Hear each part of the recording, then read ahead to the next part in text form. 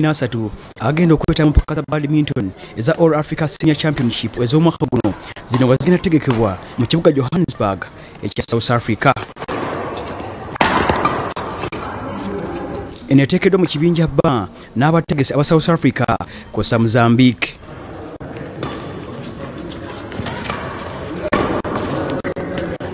uganda mu mpaka zino egenda kukiikirirwa abazanyi kumi okuli amos mayanja kapiteeni wa ttiimu eno. Era ono agamba bamaze akabanga kawerako nga batendekebwa era mu mativu tebagenda kukomawo n'emidaali.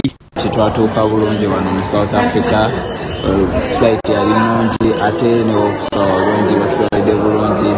Um, olunaku lwaleero tuze netugeesa ku kotsi netuzanyamu shattles uh, nungi embeera y'obudde nungi nayo terina buzibu tetukosa n'omundi n'ogumu.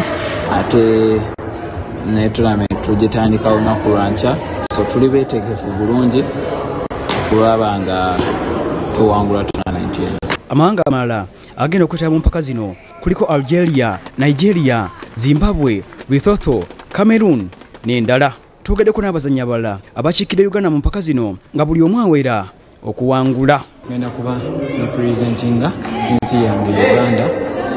Era twabadde twatwavulinze yesterday ejjo mukama natusoboseza netutuuka bulungi.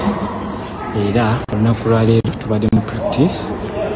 So court simbi ngiraba but twetegese nnyo okulaba nga tufuna obuwanguzi tubuzeeyo e kampala empaka zino zigenda kuzanyibwa ku kisaawe ekya benon era abazanyi abalala abagenda okiika ya uganda. Kuliko shamika fadira usinaka obugabe tracy nalowooza muzafaru lubega kenneth mwambu n'abalala